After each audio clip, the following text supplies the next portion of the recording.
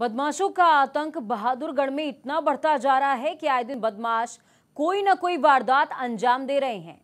कुछ ऐसा ही मामला सामने आया बहादुरगढ़ में, जहाँ बदमाशों ने बंदूक के बल पर एक युवक से गाड़ी छीनने की कोशिश की और उसके विरोध करने पर युवक पर फायरिंग करते हुए वहाँ से रफू चक्कर हो गए।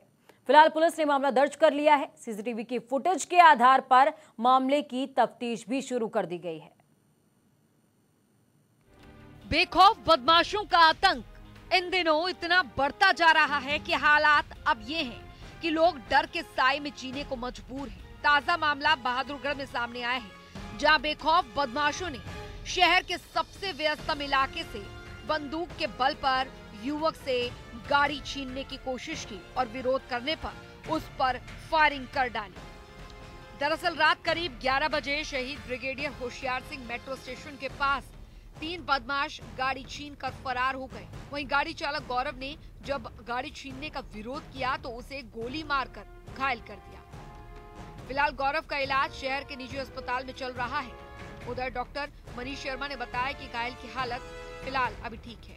वहीं पुलिस ने मामला दर्ज कर लिया है और सीसीटीवी फुटेज भी पुलिस ने खंगाली शुरू कर दी है। मैं कुछ खाने के लिए रुका था एक रेडी पे, ऑमलेट के लिए। तो फिर वो रेडी वाला, जाने वाला था। तो जाते जाते मैंने उसे बोला कि चलो एक लास्ट बना दो मेरे लिए। तो उसने बना के वो चले गया और अपनी दुकान बढ़ा के चले गया। तो उसके बाद तीन बाइक वाले रोंग वे में आते हैं, रोहतक की साइड से रोंग वे में।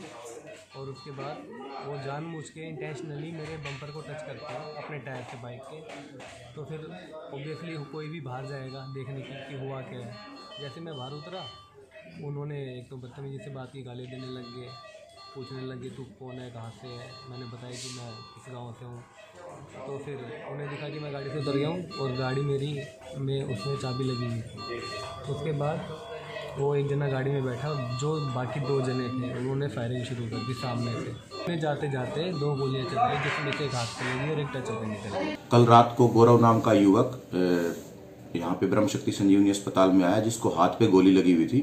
करीब 11 बजे के आसपास कुछ अज्ञात हमलावरों ने उसको मेट्रो स्टेशन के आसपास उसको हमला किया और उसके हाथ में गोली लगी, जिसका कि ब्रह्म शक्ति संजीवनी अस्पताल में इमरजेंसी में ऑपरेशन तुरंत कर दिया गया और अब युवक स्टेबल है।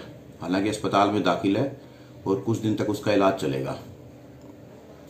जब अपनी गाड़ी में बैठा था तो उसके ऊपर कुछ अज्ञात हमलावरों ने गाड़ी छीन ली उससे और आई थिंक गोली उस टाइम पे उसको लगी है। तीन चार वायर फायर हुए थे। एक गोली उसको हाथ में लगी है। बेखौफ बदमाशों के बढ़ते आतंक की वजह से आए दिन ऐसी वारदातें सामने आ रही हैं। बावजूद इसके, पुलिस के हाथ अभी तक खाली है। वहीं लूट के इस मामले में भी पुलिस जल्द कार्रवाई की बात कह रही है। जनता टीवी के लिए बहादुरगढ़ से प्रवीण धनखड़ की रिपोर्ट।